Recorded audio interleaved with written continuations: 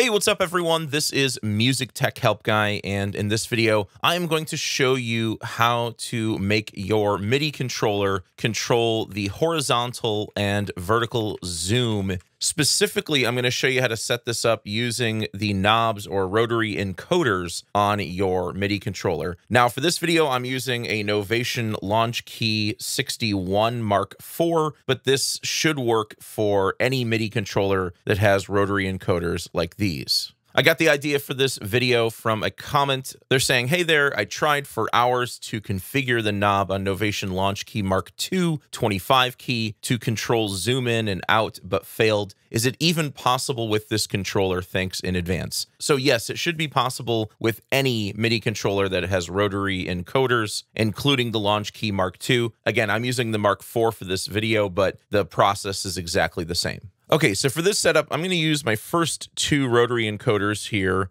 as my uh, horizontal zoom here and my vertical zoom here.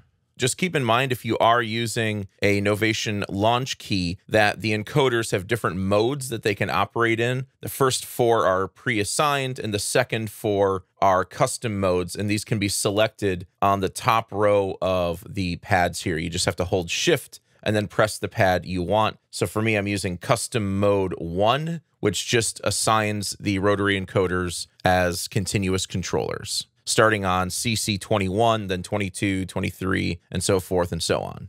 And I can confirm this by going up to the LCD display, going to custom, and then just turning those knobs. You can see there that's uh, channel 10, CC21, and then you're seeing the minimum and maximum value. And then the next one, CC22, same thing.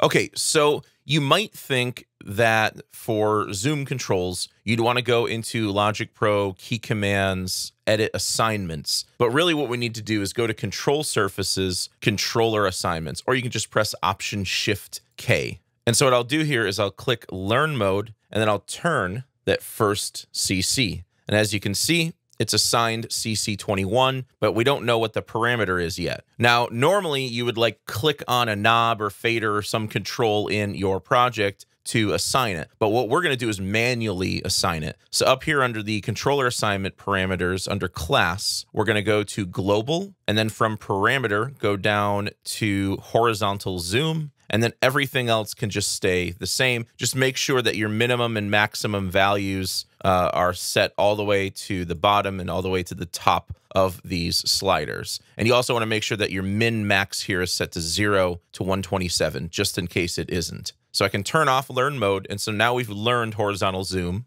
Let's go ahead and turn learn mode on again. And I'm going to turn my second knob here. And you'll see that this shows CC22 and has not been assigned yet. We'll go to class. We'll go to global. We'll go down to vertical zoom this time. Double check that our min and max values look okay. And then turn off learn mode. Now I can use my first knob to horizontal zoom. I can zoom in by turning it to the right, zoom out by turning it to the left. And then with my second knob, I can zoom in by turning right and zoom out by turning left.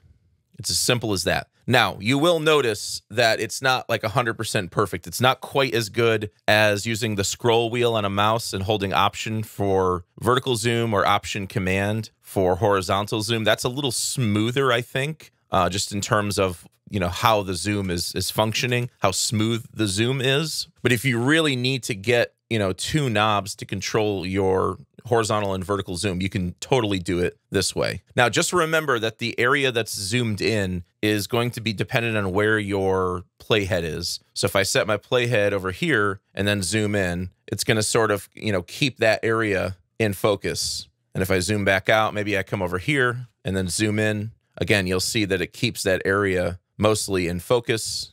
And once again, if I jump over here and zoom in, same thing. And this also works for regions. So if you select a region, it's going to zoom in and keep the beginning of that region in focus. So you just have to keep that in mind. It's helpful to select something uh, when you zoom in rather than just zooming in uh, without selecting something or, you know, set your playhead somewhere around an area that you want to uh, zoom in on.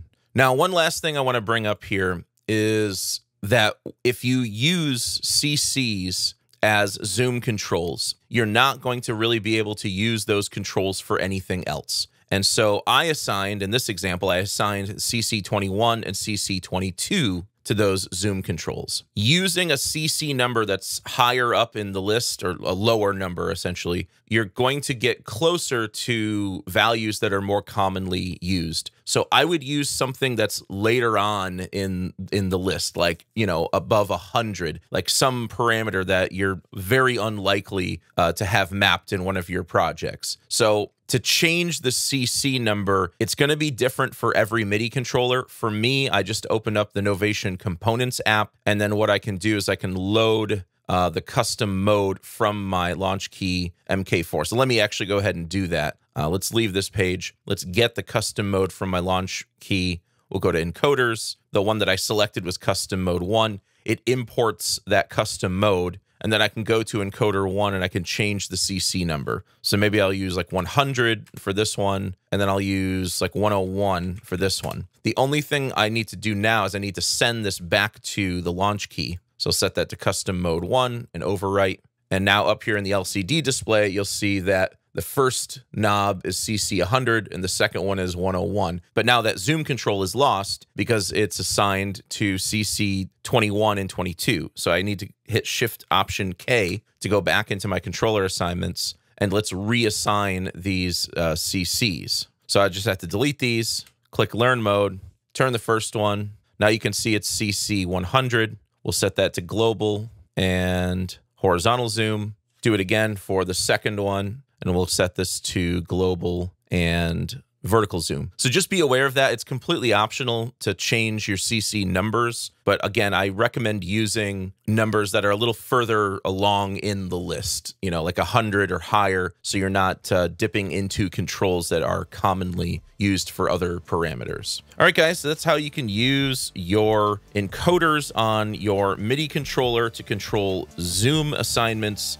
for zoom controls in Logic Pro. I hope you guys enjoyed this video. If you did, please leave it a thumbs up and subscribe to the channel to see more content like this. The Music Tech Help Guy YouTube channel is now 100% sponsor free. I don't do ad reads, paid reviews, or brand deals, which allows me to focus solely on making educational content that helps the indie music community. Subscribing, liking, and sharing really helps to build the platform in a way that's completely free. But if you'd like to directly support the cause, you can become a channel member to get early access to new videos and courses, or you can head over to my website, logicproguide.com, and purchase one of my courses. You'll be able to download the course completely ad-free, and they also come with demo projects so you can work along with the lessons. Thank you so much for the support, and thanks for watching.